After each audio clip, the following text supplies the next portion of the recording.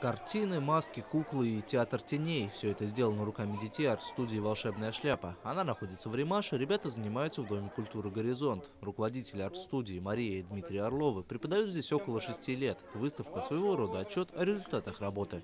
Мы начинали как из-за студия, сейчас мы уже разрослись, потому что когда мы пришли работать, здесь к нам пришло около 20 человек. Потом на следующий год 40, на следующий год еще больше. Сейчас у нас в студии около 120 человек. Мы поняли, что это все хорошо работает, успешно, дети хотят рисовать. Каждый год в студию записываются новые дети. Руководители арт-студии замечают не только отдачу воспитанников, но и поддержку их родителей. Большое количество учеников требует особого подхода. Если в младших группах преподаватели работают по отдельности, над крупными работами приходится трудиться вместе. Ученики, чтобы не чувствовали себя как бы брошенными, покинутыми, когда я одному что-то объясняю и показываю, какой-то интересный художественный прием, Дима в это время может еще кому-то уделить внимание. Таким образом, ну, работа получается продуктивнее, интереснее, и ребятам интереснее с нами двумя.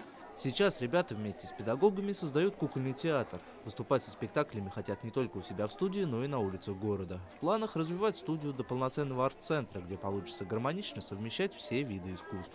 Александр Бурмистров, Евгений Шевченко. Программа «События».